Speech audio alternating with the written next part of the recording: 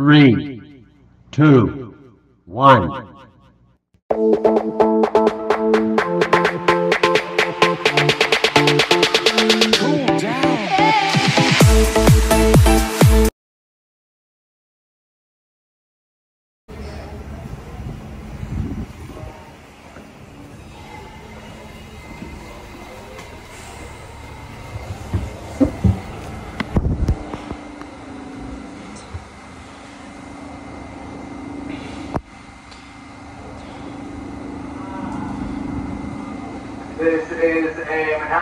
Train. The next stop is Astoria Boulevard. Stand clear of the closing doors, please.